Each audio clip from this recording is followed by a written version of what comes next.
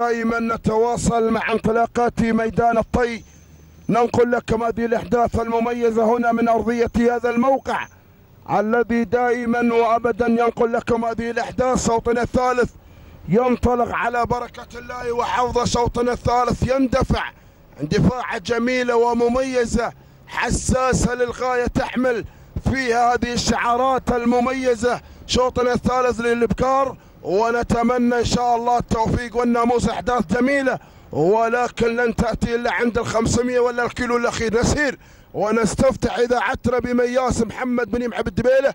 النقله على جباره في المركز الثاني علي بن يمعة الغنامي بينما المركز الثالث المركز الثالث النصيبه سالم بن كاسب المسافري. النقله على المركز الرابع المركز الرابع لعبد الله بن علي بن واصل هي ملوح. بينما المركز الخامس المركز الخامس للسيد حمد ولا أحمد بن سيف الغويس اللي هي أبراج. هكذا هي النتيجة. ها هي النتيجة في ندائنا الأول. ندائنا الأول. الله يا النداء الأول. شوف شوف الثلاثية على مقدمة الشوط. كوكب ثلاثية إعصار ثلاثي على مقدمة الشوط بقيادة اللي غيرت بالحقيقة جبارة.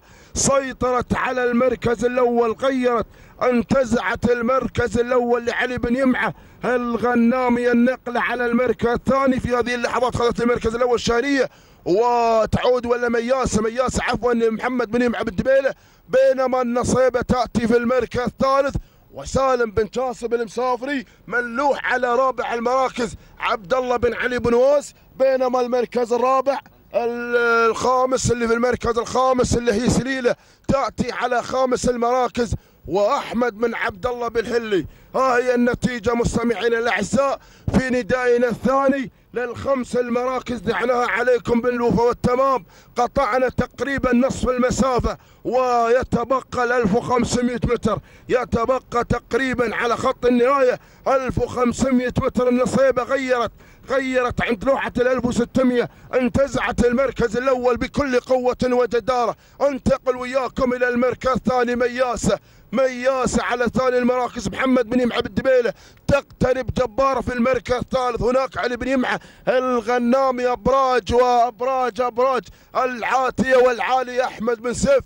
الغويص النقلة على الشانية في المركز الخامس ومحمد بن سلطان آه، اللي في المركز الخامس للسيد محمد بن ساري بن ملوش هاي النتيجة هكذا هي النتيجة الشاينية هاي النتيجة النصيبة الله يا النصيبة نصبت نفسها بالحقيقة في الموقع الجميل الموقع المميز الموقع الحساس والشوط دائما وابدا تأتي فيها الأحداث الجميلة. قلت لكم هناك عند الانطلاقة ترقبوا الكثير والكثير في اللحظات الأخيرة بالحقيقة. نصيبة سالم بن جاسم المسافري مسيطر حتى هذه اللحظة شعاره على المركز الأول. أبراج في المركز الثاني وأحمد بن سيف.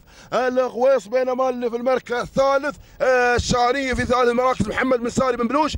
النقلة على المركز الرابع. المركز الرابع سليلة أحمد بن عبد الله بن المركز الخامس. اللي في المركز الخامس مرمرة الكاميرا ومبارك بن علي الضبع. هاي النتيجة. الله!